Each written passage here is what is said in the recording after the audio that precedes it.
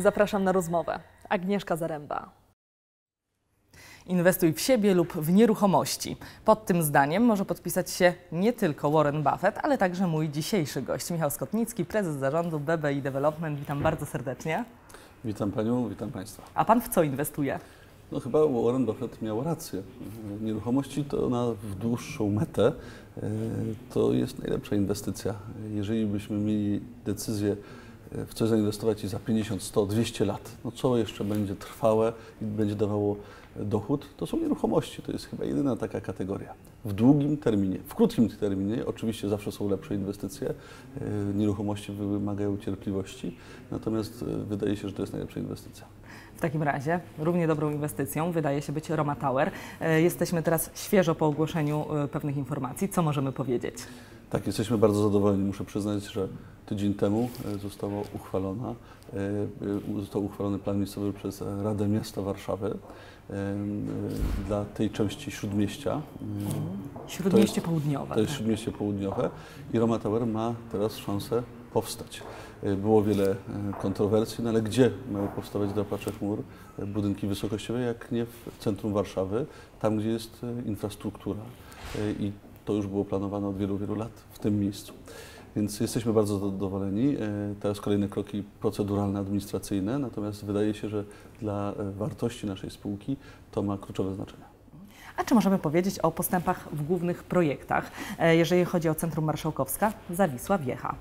Budynek planowany jest do oddania w maju, czerwcu już przyszłego roku, czyli za pół roku w kategoriach nieruchomościowych to jest w zasadzie już. Komercjalizacja idzie dobrze. Mamy wynajęte 70% całości powierzchni budynku. No to chyba nie jest jakieś zaskoczenie. To jest jedno z najlepszych lokalizacji, jak wiemy, na przecięciu dwóch linii metra na ścianie wschodniej Marszałkowskiej. Także to już będzie aktywo, które będzie gotowe do sprzedania już niedługo i to też dla naszych inwestorów wydaje się bardzo dobrą wiadomością po wielu latach czekania. No tak to jest w nieruchomościach, że najpierw trzeba inwestować, czekać.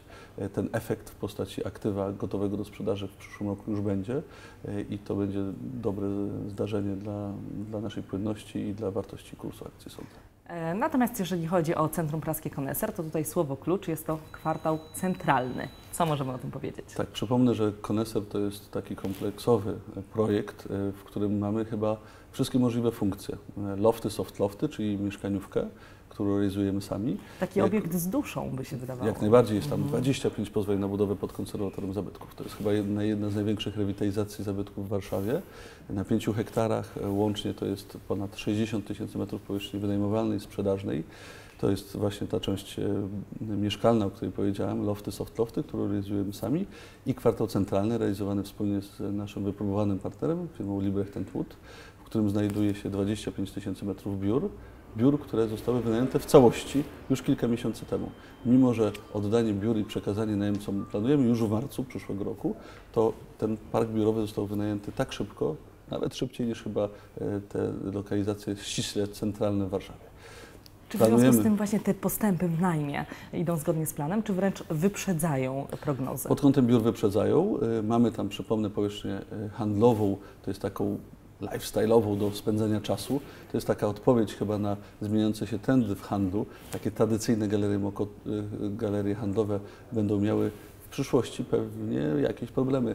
Koneser jest czymś zupełnie innym. Y, to są trzy dziedzińce, zabytki, y, powierzchnia wystawiennicza, handlowa, restauracje, bary.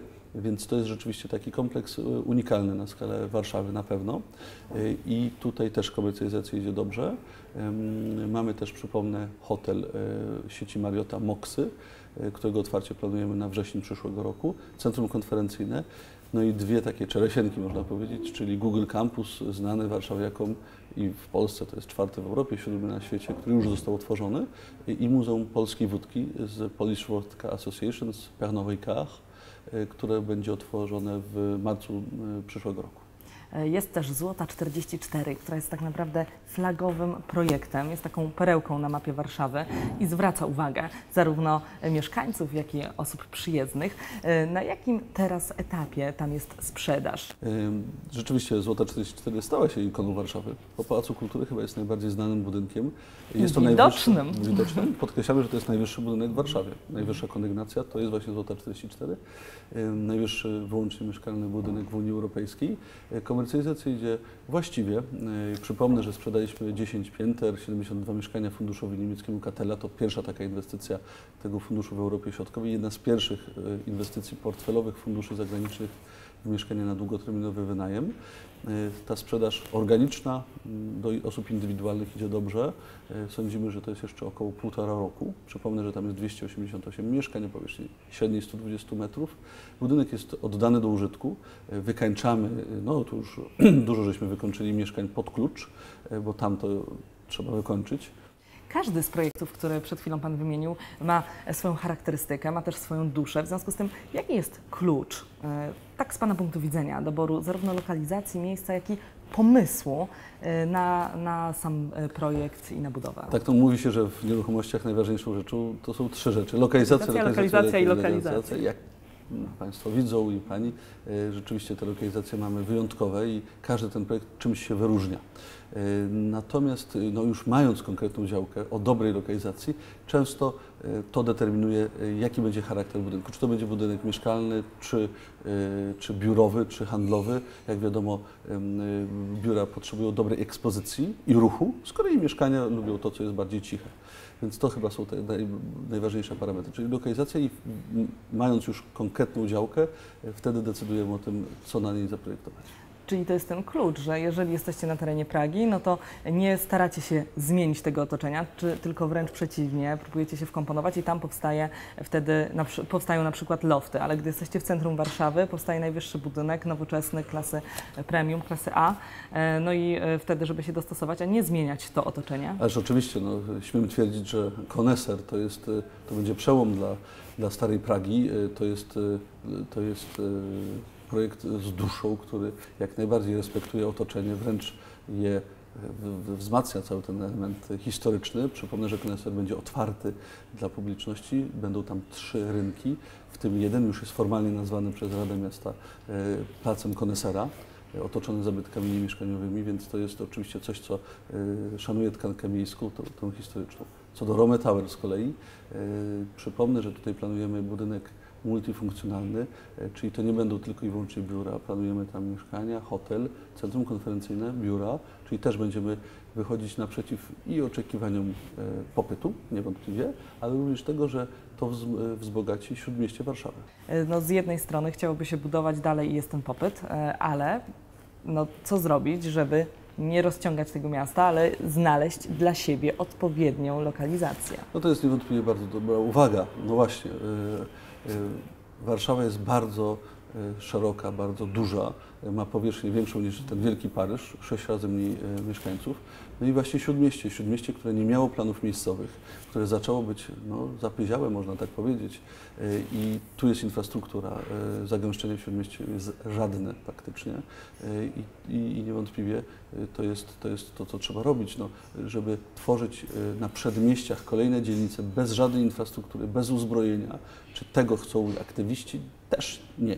Więc wydaje się, że to, co robimy, czyli y, umiejętne y, wprowadzenie zabudowy w istniejącą tkankę miejską, infrastruktury, no to jest to, co trzeba robić. Koneser jest tego dobrym przykładem.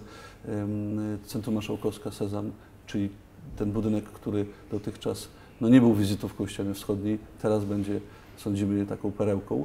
No i właśnie Roma Tower, która uzupełni mm, tę, te, te dominanty, które były zawsze planowane od kilkudziesięciu lat w okolicach e, Mariota Elektryni. Łatwo mówić o atrakcyjnych lokalizacjach, jeżeli mówimy o Warszawie, o stolicy, tutaj dużo się dzieje, e, ale czasami trochę trudniej jest wskazać takie miejsca e, na terenie kraju. Co Pana zdaniem, w którym kierunku powinniśmy też skierować nasz wzrok pod kątem inwestycji w nieruchomości, jeżeli e, nie chcemy inwestować tylko w stolicy? Tak, niewątpliwie stolica, największy rynek, ale pewnie tu jest też i najtrudniej. Nasza firma specjalizuje się ewidentnie w Warszawie i w tych lokalizacjach wyjątkowych, chociaż oglądamy potencjalne projekty też poza.